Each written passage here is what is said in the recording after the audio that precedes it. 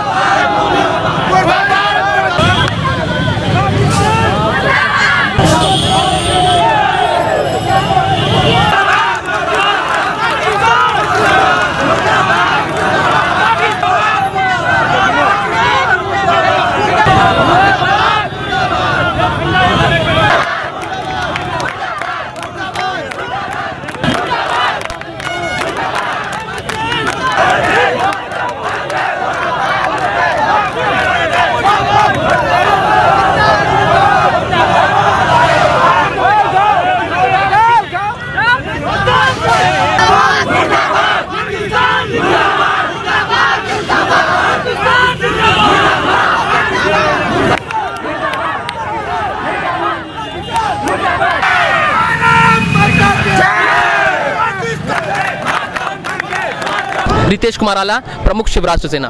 आज हम लोग शिवराष्ट्र सेना और शिवराष्ट्र सेना छात्र सभा के सभी कार्यकर्ता लोग